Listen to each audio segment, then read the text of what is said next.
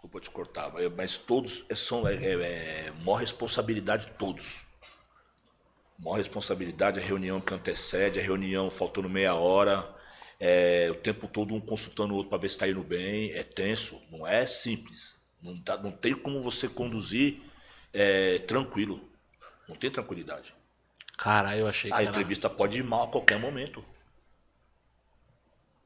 Você pode simplesmente perder o raciocínio, você pode não dominar a ideia, você pode estar no mau dia. Sim.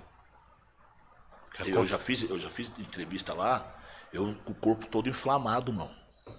Dor em todas as articulações, ardendo de dor. E eu lá, firmão, entrevistando, perguntando as coisas, tá ligado? Dá pra ver na foto no Instagram, tá lá, cheio de dor.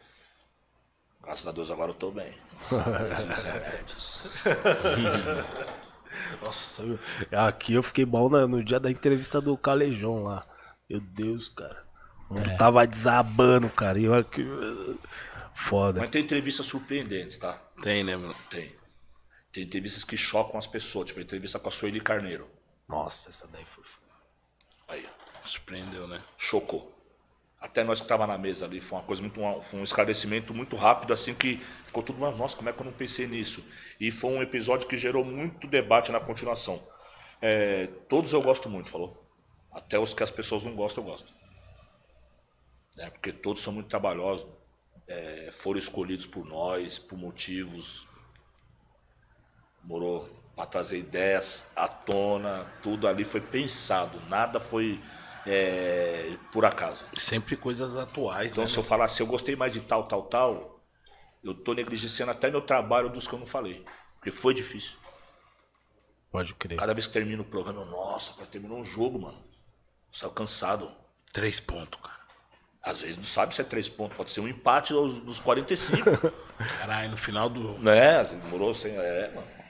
Você não, você não tá num, num bom dia. Tem dia que você tá ansioso.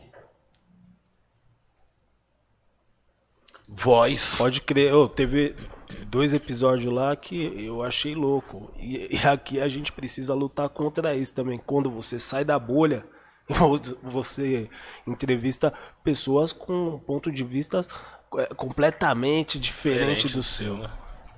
Completamente diferente do seu. É legal também. A gente tá acostumado, né, na real, né, Big? A gente não vive num lugar onde todo mundo concorda com tudo que nós falamos. A gente Ué. nunca procurou essa, essa zona de conforto. Essa zona não. É. Até lá na quebrada. Não, lá na quebrada principalmente. Pô, pega lá e debate direto. Não, lá é que e você é vai ver gente pensar diferente pra caralho, e é justo. O único que nós sabe que tem a certeza certa é o Tó. Tem... Quando cai na mão dele. O Tó é o resumo da humanidade. Né?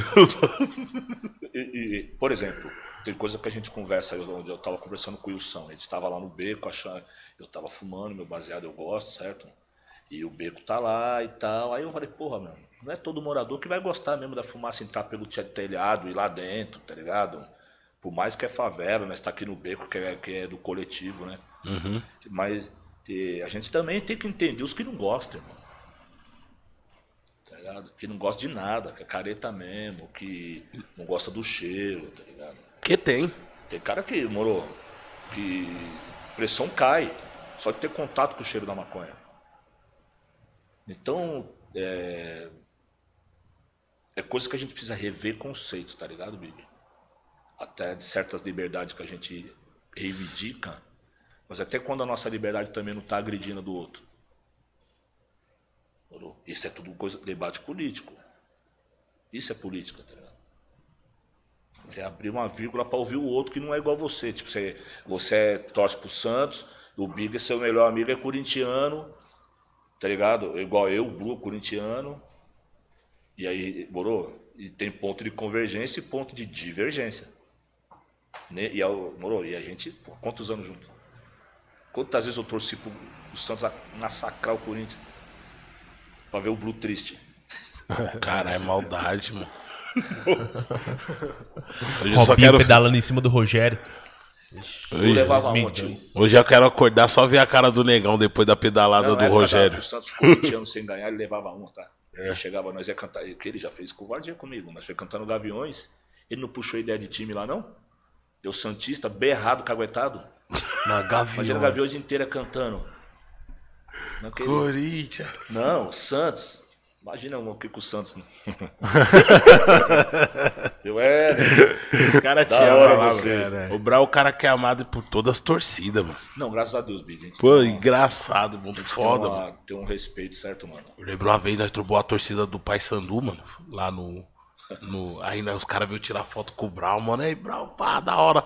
E o Brown, e aí, firmão, como é que tá o time? Não, Brown, nós tá esperando o time chegar aqui que nós vai dar um pau no jogador, tá. mano. Os cara, o time acabou de cair. Eu falei, tá, puta, mano. Você é louco. Pai Sandu, Billy? Meu Era o Pai Sandu. Eu falei, meu Deus, mano. Nossa senhora do céu. Pode tipo assim, os caras parou ainda pra tirar foto com o Brown, trocar ideia, mas não esqueceu do jogador, não.